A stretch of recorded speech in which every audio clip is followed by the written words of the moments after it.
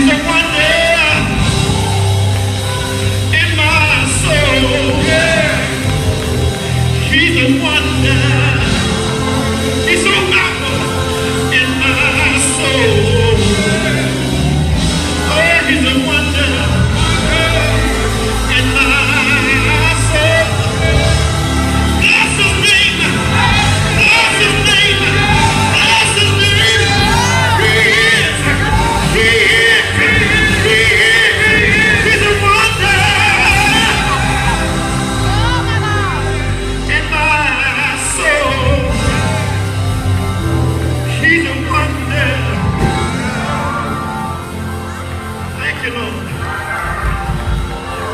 see what the Lord has done for me.